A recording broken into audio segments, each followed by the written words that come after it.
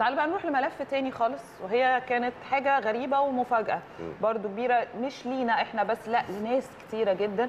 لأن بالأمس كان في خروج لمحمد صلاح نجم ليفربول طبعا من قائمة المرشحين للانضمام لأفضل فريق في العالم عن عام 2021 ده المقدمة من حاجة اسمها فيفا FIFPro.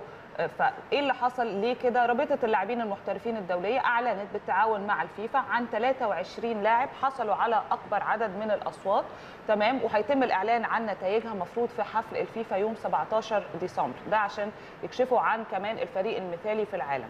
طب فين القصة؟ القصة إن اسم صلاح ما كانش في التشكيل المثالي، اللي حصل إنه طلب يعني كل من الفيفا والفيف برو من لاعبي كرة القدم المحترفين في جميع أنحاء العالم التصويت لصالح أفضل 11 لاعب من وجهة نظرهم على إن هم كمان يتكونوا من حراس مرمى، مدافعون، لاعبو وسط، مهاجمون، ولاول مرة بنتكلم من 17 سنة بإجراء فيف برو قامت بتحديث القائمه هنا وتقليص العدد. كان 55 لاعب بقوا 23 هم كانوا ثلاث حراس مرمى. وست مدافعين وست لاعبي خط الوسط وست مهاجمين بس القصة كلها إن محمد صلاح ما كانش من الأسامي اللي مترشحة. عجيبة فعلا دي عجيبة فعلا. غريبة يعني عجيبة. فعلا غريبة.